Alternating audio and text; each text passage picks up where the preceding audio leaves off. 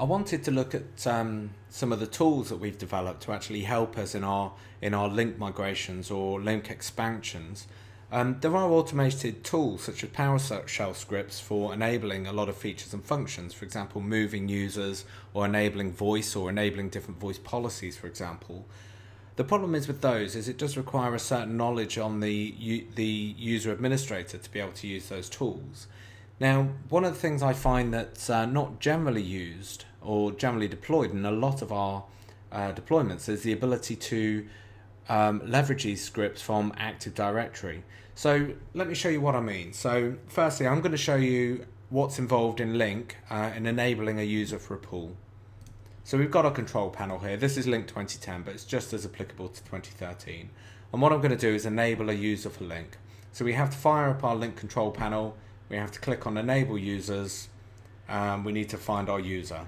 Now I know that I've got a user in here somewhere called Derek. So I'm going to find him. There we are. Click OK. We have to choose the pool that I'm going to assign him to. We're going to say pool 1. I'm going to specify what uh, SIP URI needs to do and then change all these policies down here. So once I've done all that, click enable, that user will go off and will be enabled for Lync.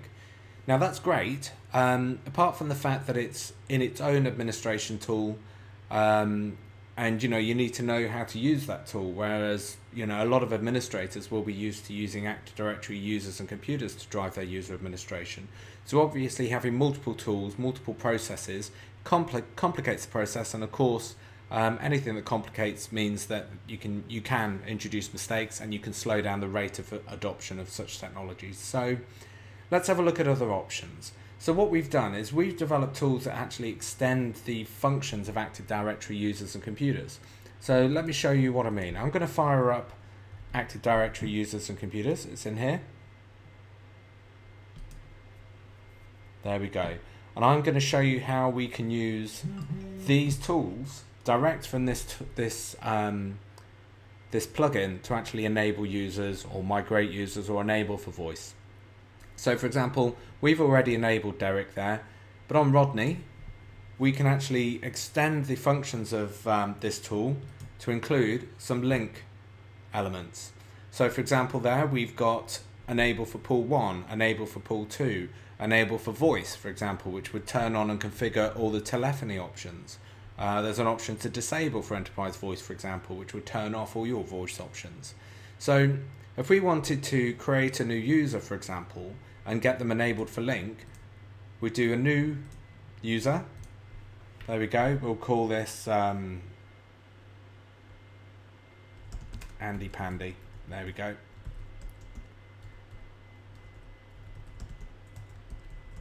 Give him a password. I'm going to give him an email address as well.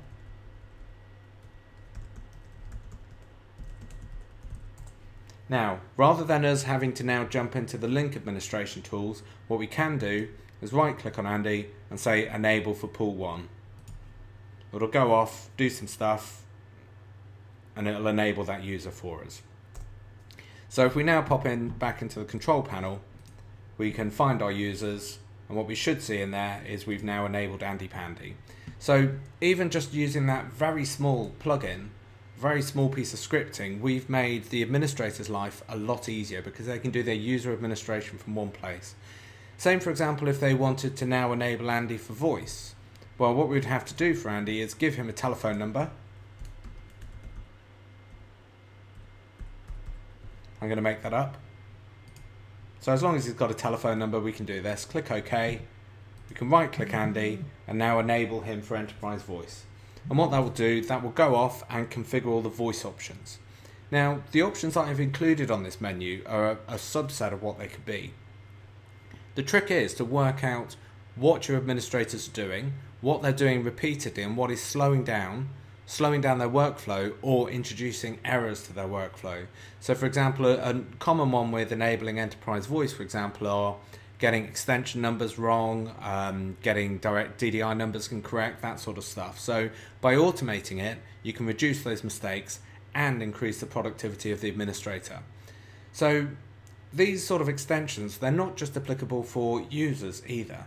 So for example, you can see here that I have a group called migrated site. And what those migrated site group could have in it are any user, for example, that has been moved from one uh, site or location to another. Now, depending on how your topology is configured, you then may want to change their site configuration. So you may want uh, different voice policies applying, for example. Well, you can do all this from within the, uh, the Lync control panel, or you can do it from within PowerShell scripts. But with a bit of planning and a bit of forethought, you can actually do all this kind of um, user management all within a single tool. So for example here, if I right click on the migrated site, you'll see that I have some Lync specific options now, such as enable everybody in that group for pool 1, enable them for pool 2, I can disable enterprise voice, I can migrate users to uh, a different pool, for example. So by putting some effort into this tool, you can increase the productivity of you, your administrators because they don't have to be jumping around in different tools and, and different uh, areas of your infrastructure to achieve what they want. You can also reduce the number of errors that are introduced to your um, to your infrastructure, certainly with things like directory listings and things like that, which of course has an effect on the number of support calls that you get. But in addition, you can actually speed up your workflow of user adoption. So, for example, if you're taking on a site by site, you can actually configure um, the system to actually be able to do a lot of that those automated processes for you, such as enabling them for Lync, assigning the right voice policy, assigning the right external access policy, and all those sort of things. So I hope you can take from this the fact that automating these processes is very much the way to go. In general, if you find your administrators are doing the same thing repeatedly with a definable outcome and they're not automating it, they're doing it wrong. Um, it'll introduce errors and of course it will just slow down productivity. So as you can see, a lot of the tools we've developed and the way that we deploy our our uh, topologies is purely designed in a way to actually make that make that deployment as simple and as accurate as possible.